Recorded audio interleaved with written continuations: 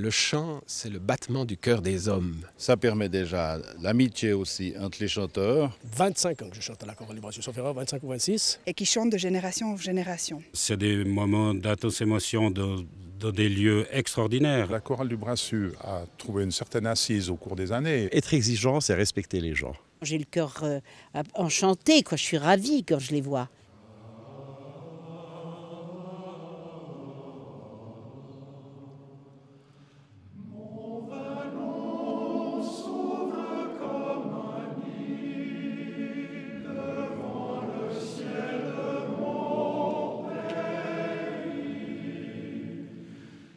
L'histoire de la du Brassus commence en 1849 et depuis, euh, avec des effectifs qui varient entre euh, 70, 50, 40 chanteurs.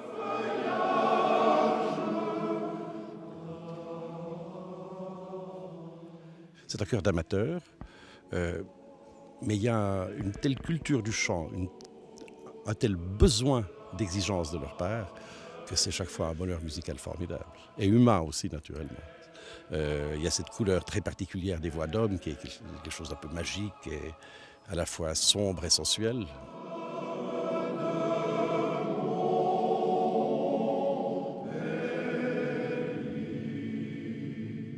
On a un répertoire assez varié qui va de, de, chœurs d'opéra, voire chœurs d'opérette, aux grands chœurs romantiques euh, germaniques, Beethoven, Schubert, Brahms, Schumann. Et les compositeurs romans de la fin du 19e, début du 20e siècle, qui ont beaucoup marqué le chant choral en Suisse romande.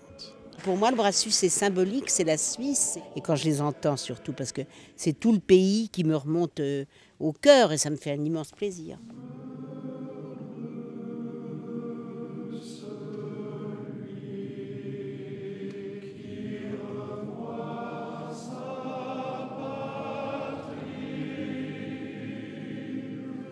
Il y a l'enracinement au Jura. Et là, justement, le chant, ce, besoin d'être ensemble, ce besoin de, partager un, élan ensemble, c'est un grand moment.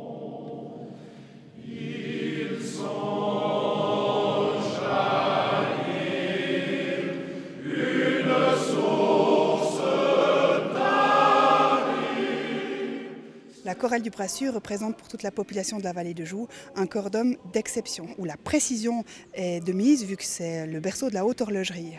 De cette même image, la chorale du Brassieux reflète ses valeurs de qualité, de précision, mais aussi d'âme et de fraternité.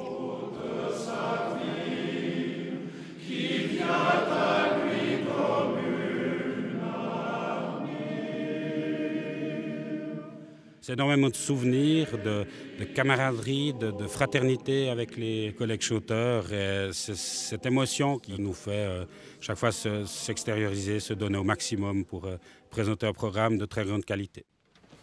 Ce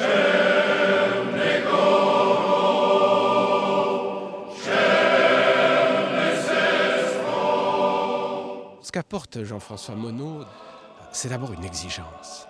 Et puis après, il y a le miracle d'un chef qui est en accord avec ses choristes.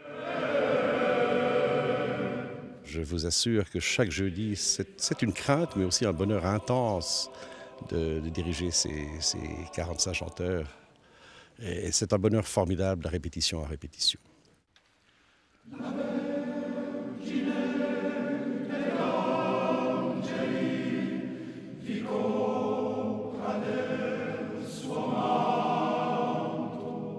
Dire à des candidats choristes, la première chose, c'est qu'ils peuvent venir sans crainte parce qu'il n'y a pas d'examen d'entrée, quel qu'il soit. Deuxièmement, euh, il n'y a pas besoin de savoir lire la musique, les notes, forcément, parce qu'on apprend beaucoup par audition. On a quelques nouveaux membres qui sont arrivés. Ils ont été surpris de, de l'accueil, de la gentillesse des gens, du bonheur de, de, de revenir le jeudi soir. Ils sont enchantés d'avoir commencé. Ils ne se rendaient pas compte de la facilité d'intégration.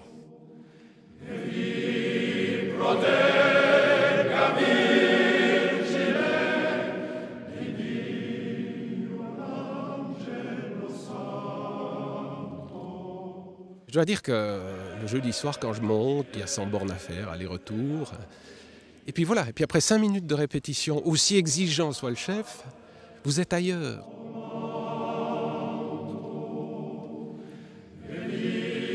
J'ai déjà eu la chance d'aller à Hong Kong d'aller à...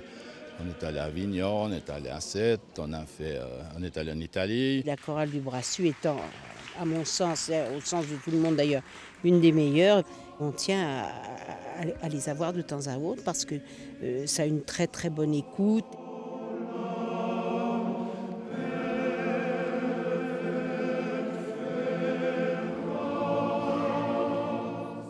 Il y a une volonté quand même de, de se dépasser, d'entrer dans quelque chose qui est quasi spirituel, quoi, qui est quasi, en tout cas, de l'ordre de l'élévation. Et puis un homme heureux est un homme qui chante.